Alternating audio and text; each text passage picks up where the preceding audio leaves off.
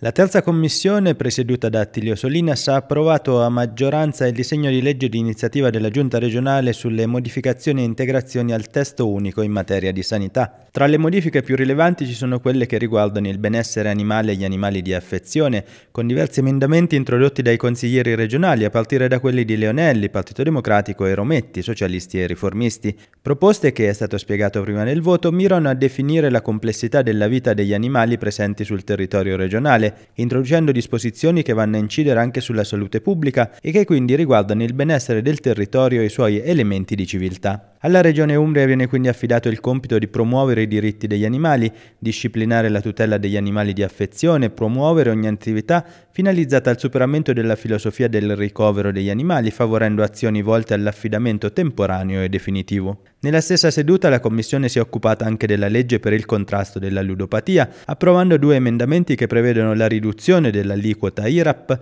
solo per gli esercizi che disinstallano le slot e non per quelli che evitano di installarle. Inoltre viene fissato il limite minimo di 500 metri tra gli esercizi che dispongono di macchine da gioco e i luoghi sensibili come scuole, centri sociali e case di cura.